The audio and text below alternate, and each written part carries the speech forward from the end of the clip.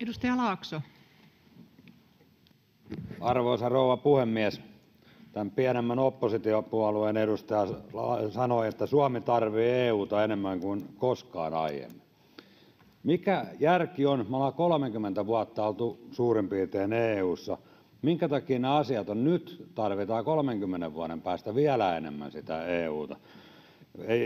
Ei nyt oikein logiikka toimi millään tavalla. Just puhutaan tuosta, mikä minullekin on äärettömän tärkeä asia, että tämä palkkojen polkeminen on Suomessa ollut itäblokin maitten johdosta aika kovaa. Mikä järki on tässä jutussa nyt, että puheenjohtajamaan aikana yritetään vielä kerätä sinne Makedoniaa ja Albaniaa mukaan? Turkki sentään ei päässyt vähän aikaa sitten, mutta jopa sekin olisi melkein huolittu erityisehdoilla. Koska ihan oikeasti Makedonia ja Albania tulevat tekemään sen, että täällä on vielä enemmän niitä porukkaa tekemässä halvalla niitä hommia, mikä on nyt ollut se tuska. Se on yksi koko EU:n suurin ongelma, että palkkaus ei ole sama ollut alun perinkään eikä ole vieläkään. Edustaja Lindtman. Arvoisa puhemies! Edustaja